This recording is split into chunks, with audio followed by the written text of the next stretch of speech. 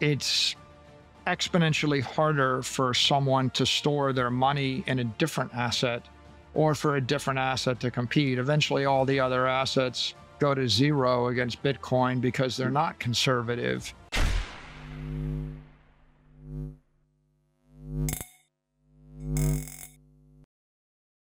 Hey guys, welcome back to Library of Wealth.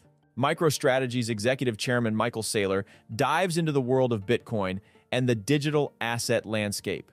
According to Saylor, regulators might throw a wrench in the crypto market by potentially shutting down digital securities due to their lack of widespread support.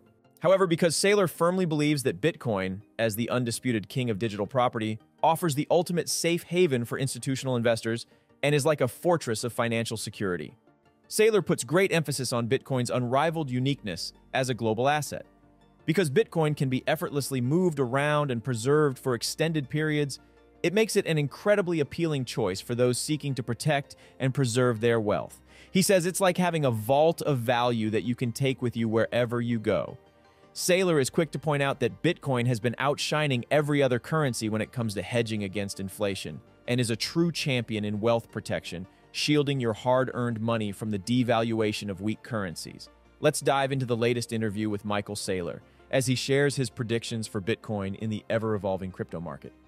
Don't forget to hit the like button and subscribe if you enjoy the content we do here on this channel. Let's get right into the video.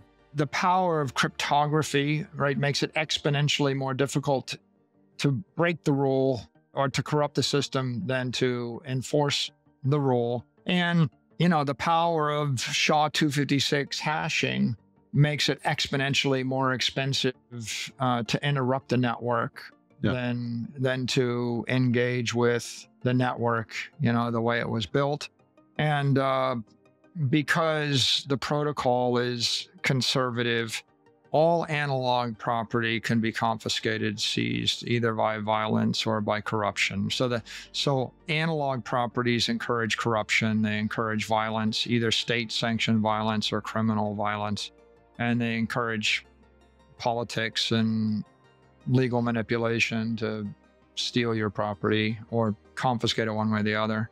And that's been the case for all of human history. So, to the extent that you convert property into a digital form, and that digital form can manifest itself on a hardware wallet or a seed phrase plate or in your head, however it's manifested, you now have the ability to destroy the property by destroying the information, which you can't do with analog property. If you own a vault of gold, yeah. in fact, you can't destroy it. So if you owned a building or a company or even a bunch of bonds, you know, to give you a claim on a government, you can't destroy them by destroying the information. Eventually, a custodian or a government can reclaim them. So, in that sense, the human doesn't really have the power over their own property. They don't have the property right. They have a conditional property right based upon their political standing or their physical strength. Mm-hmm. Bitcoin gives the human being an unconditional property right because the power to, to destroy something is the ownership of the something. It's a line yeah. from Dune, by the way, if you remember oh. Frank Herbert, where they oh, talk yeah. about the spice and they say the oh, power yeah. to destroy the spice is, is power over the spice. In this case, um, the power to destroy the property means you have an unfettered right to the property. The power to transport or convey the property is another right. All these other properties, you don't have the right to convey and you don't have the right uh, you don't have the power to convey or the power to destroy. So I think Bitcoin is a breakthrough in those two ways. The third way it's a breakthrough is is it's immortal property. So you can, in theory, accumulate a massive amount of property and find a way to convey it 10,000 years into the future. You can't do that with even a pyramid. You can't do it with a building. You can't do it with any stock or bond or piece of land. But you know, you can entrust the Bitcoin to an AI program, put it on a satellite, maybe time lock it. Yeah, yeah. And it'll still be there. So I think the the implication of that is that in a world of digital property, there's an there's a disincentive to violence and a disincentive to corruption for lots of reasons.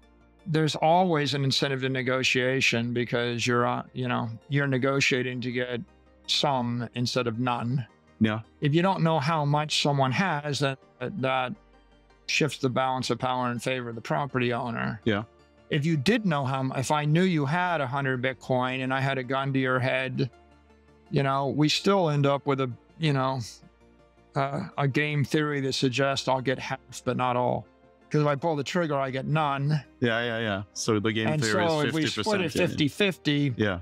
You might well give me half or give me a fraction. Yeah. If I'm not using a gun, but I'm just threatening a lawsuit, maybe I'll just take the 10%. Same thing. Now, you can shift the balance of power on that because if I have a gun to your head, but you have the ability to to transfer the Bitcoin telepathically or or you have a little device, a kill switch in your hand, and you can punch the button and transfer it to someone else, somewhere it. else, time lock it. it's like, okay, can I pull the trigger before you push the black switch? In that case, maybe I'd only just take 10%. Yeah. So right. So, I- so I think that there's technology that can be constructed that at this point will shift the balance of power away from the authoritarian with with the physical power and put it in the hands of um, of the person with the digital power. I don't think um, there's any black and white here. I think that an individual could decide to be their own custodian or could engage in multi-sig a family could decide to be their own custodian or engage in multi sig. A small company, a big company, a city, a state, a country, they could all make different decisions. And the decision is how will they custody their assets? And the answer is you don't really want the mayor of your city to have all your money no. and then leave. like, does the mayor get to keep all the money when they get unelected? Like, would you be more comfortable? I mean, the point really is no. And now, do you want to live in a city that doesn't own any Bitcoin? No. Well, when you actually implement multi sig with seven guardians, that's called a bank, a national bank. You know, and now you'll have this political process of who are the seven guardians you trust, Yeah. And what your jurisdictions are they in? which Like- is, uh, but you know, families have politics, right? You have a Yeah. distributed family and there's five brothers and there's, and the question is which of the five brothers get to control the family money? Saylor remains unwavering in his bullish stance on Bitcoin. He boldly predicts that the imminent crash of the US dollar will set the stage for an unprecedented Bitcoin rally, a spectacle of monumental proportions unlike anything the world has witnessed before. In light of this, Saylor advocates for investing in scarce and profitable assets that are immune to counterparty risks. He observes the surging global demand for a stable digital currency fueled by the growing currency instability faced by nations worldwide. According to Saylor, Bitcoin's enduring value lies in its validation and its ability to underpin an entire asset class. While acknowledging that robust nation states may still cling to their fiat currencies, he anticipates an eventual collapse. In such a landscape, Saylor discourages holding cash, which rapidly loses 20% of its value year over year. Instead, he advises to acquire desirable assets using low cost funds and hold on to them indefinitely as a means of preserving generational wealth. What do you think about Michael Saylor's outlook for Bitcoin in the digital asset space? Comment down below. Thanks so much for watching. Don't forget to like and subscribe. This is Library of Wealth. We'll see you in the next video.